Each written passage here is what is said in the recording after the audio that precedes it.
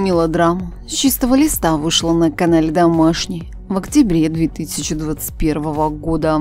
Это история женщин, которая после многих трудностей нашла свое счастье зрителям. Картина понравилась, и многие были бы не прочь увидеть продолжение. Режиссером сериала выступил Роман Бравко. Над сценарием работала команда сценаристов. Это Ольга Жабина, Елена Баландина, Яна Симон. Главные роли в картине исполнили Любава Гришнова, Лариса Кадочникова, Павел Южаков-Харланчук, Яков Кучеревский и другие. К сожалению, второго сезона сериала с чистого листа не будет. История завершена. Подписывайтесь на канал и будете в курсе всех событий о любимых сериалах.